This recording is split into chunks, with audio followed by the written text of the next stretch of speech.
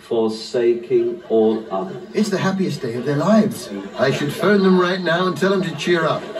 I'll just dial George's number. One, four, five, six, seven.